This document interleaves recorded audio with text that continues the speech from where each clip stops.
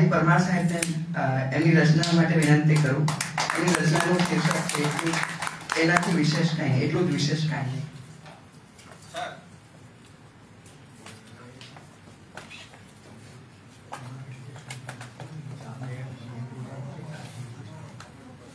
શું?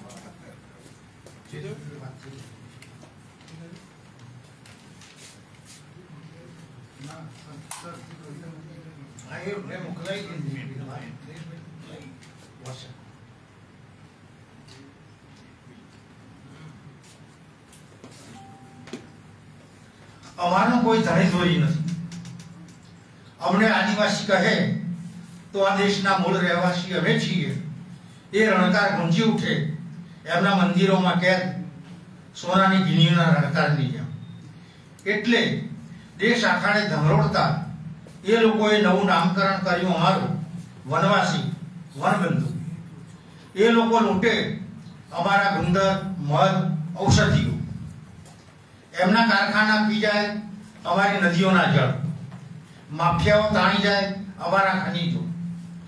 અરે એ લોકો તો સલવાર સલવાળ જુડુમ થકી અમને લડાવે અંદર અંદર. મળી આવે મોરનું પીછું અમારા ઘરની આસપાસમાં તો ગાંધીદેવને જેલમાં પડા તોડી નાખે હત્યા રાખે અમારી નદીઓના ભાઠામાં ઉગાડતા અમે શાકભાજી. પણ એ લોકોએ નદીઓ પર જ બંધ ઉગાડવા શરૂ કર્યા. મોટા મોટા બંધ ઉગાડવા શરૂ કર્યા. એમના શહેરો અને નગરોના વિકાસ કાઢી નદી કિનારે રહી ગયેલા અમારા કેટલાક ગામોને તરસેરી ભાગી અમારી નદીઓના ભાઠામાં ઉગાડતા અમે શાકભાજી. પણ એ લોકોએ નદીઓ પર જ ઉગાડવા શરૂ કર્યા. મોટા મોટા બંધ એમના શહેરો અને નગરોના વિકાસ કાજે નદી કિનારે રહી ગયેલા અમારા કેટલાય ગામોને તરસેરી ભાગી ખાલી એક જ રાજ્યમાંથી હિજરતી બનેલા પંડિતોના પડખે આખો દેશ રડે એકતા ભરી. વિકાસની એમની લાઈમાં કેટ કેટલા રાજ્યોમાંથી અમને ખદેડી મૂકવામાં આવે, હાંકી કાઢવામાં આવે, શહેરોમાં અને નગરોમાં? પણ દેશ આખો ચૂક ચૂક મુખ બધી ખાલી એક જ રાજ્યમાંથી હિજરતી બનેલા પંડિતોના પડખે આખો દેશ રડે હિપકા ભરી. વિકાસની એમની લાઈમાં કેટ કેટલા રાજ્યોમાંથી અમને ખદેડી મૂકવામાં આવે, હાંકી કાઢવામાં આવે, નગરોમાં અને શહેરોમાં, પણ આખો દેશ ચૂપ મુક બધી. ભોગે જગ્યો કોઈ અમારી ભેળું રહી, કરે ચાલીસ ચાલીસ વર્ષ અમારી સેવા, લખે બોલે અમારી હિજરત પર, તો નક્સલવાદીનો સિક્કો મારી, એવા વયોવૃદ્ધ બહેનને બબે વર્ષ પહોંચી રખાઈ જેલમાં સુધાબેન ભારદ્વાજ ભોગે જોગે કોઈ અમારી ભીડું રહી, કરે ચાલીસ ચાલીસ વર્ષ અમારી સેવા, લખે બોલે અમારી હિજરત પર તો નક્ષલવાદીનો સિક્કો મારી એવા વયો- વયો- વયોવૃદ્ધ બેનને બબે વર્ષ મોદી રખાઈ જેલમાં માંડ બે વર્ષે છૂટે જામીન પર. આ દેશના મૂળ ધણી અમે. આ દેશના મૂળ ધણી અમે. પણ આજે અમારું કોઈ ધણી ધોરી નથી. આજે અમારું કોઈ ધણી ધોરી માં અને ચાંદલીઓ કરી સાહિબ પરમાર સાહેબની રચના છે, તો સાહિબ પરમાર સાહેબને આમંત્રિત કરું. માં અને ચાંદલીઓ કવિતાનું પઠન કરે.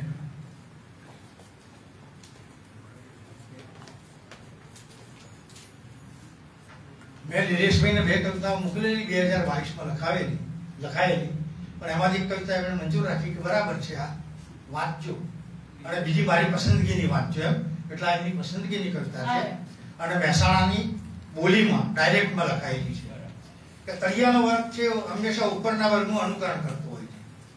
એટલે એક મિથ છે એક મિથ છે એવી કે રામે ચાંદો માગ્યો કૌશલ્ય જોડ્યાની માતા જોડે. અને પછી મુંજાયા માતા અને દશરથ બધા એટલે ગુરુ વશિષ્ઠને બોલાવ્યા. એમણે પાન થાળમાં પછી ચાંદો દેખાડ્યો. એટલે એ વાંચીને પછી એક દલિત દીકરો પણ એની માતાને કહે છે. અને આ રામ છે હિન્દુ હાર્ટલેન્ડ નો દેવ છે હિન્દુ હાર્ટલેન્ડ નો દેવ છે. એટલે રામે રથયાત્રાઓ નીકળી રામની જન્મભૂમિ પ્રશ્નો પણ થયા. અને મારે ભીત તોડવી હતી એટલે રામા નામનું પાત્ર લીધું. મા મને ચોંદલીઓ આલવાની રડ મિલ રમા રોટલાની મંડળી મોકો મને ચોંદલીઓ આલવાની રડ મિલ રમા ઓય રોટલાની મંડળી મોકોન બાર બાર વરહેના નીર જેમો આયા તા એવા નવણ જેવું ઘર. આ પાયે તે પાયે માટીના ભેતરા, ઉધઈના ચોંબેલા બાર બાર વરહેના નીર જેમો આયા તા એવા નવણ જેવું ઘર. આ પાયે તે પાયે માટીના ભેંસડા ઉધઈના ચોંબેલા થર બાકોરા સાંદળીના ચોમા હે પાણીની છુટ્ટા હાથે કરતા લોનમાં મને ચોંદલીઓ આલુની રડવેલ રોટલાની મંડળી ગાલનાના પૈડા છે તેવા મોટા લે આવો રૂપિયો હતો રાણી છાપનો. ગહે ગહે ગહે ને એવો નેનો થઈ ગયો કે નહીં? વંશ તો પગાર તારા બાપનો. ગાલનાના પૈડા છે તેવા મોટા લે આવો રૂપિયો હતો રાણી છાપનો.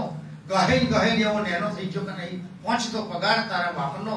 રોમણી વાતો તો એથી જ જૂના જમાનાની એનું વચિંતુના ભેંકડાઓ તો રોમની વાતો તો એથી જૂના જમાનાની. એનું વચિંતુના ભેંકડાઓ તો મા મને ચોદરીઓ આલોની રડમીલ રોમા રોટલાની મંડળી.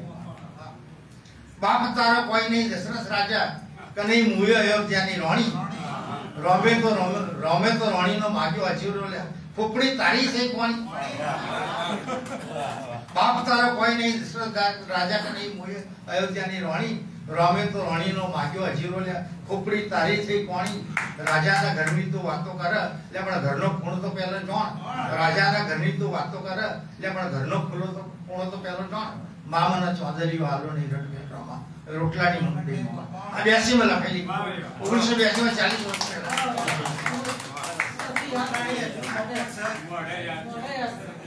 પહેલા.